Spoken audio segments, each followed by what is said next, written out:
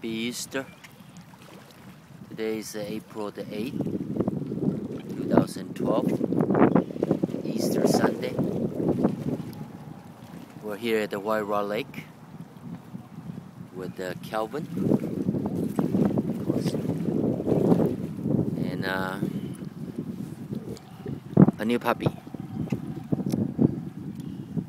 Come on. Come. Show your face. There you go. Name's Friday. Australian Shepherd. We're here with the uh, Popeye.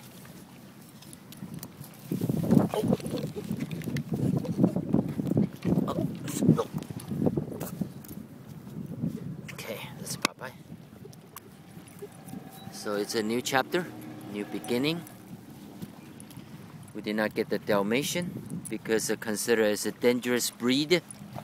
So we uh, we got the Australian Shepherd.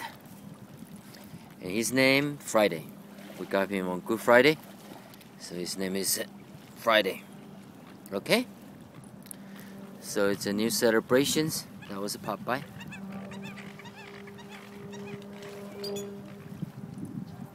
Happy Easter.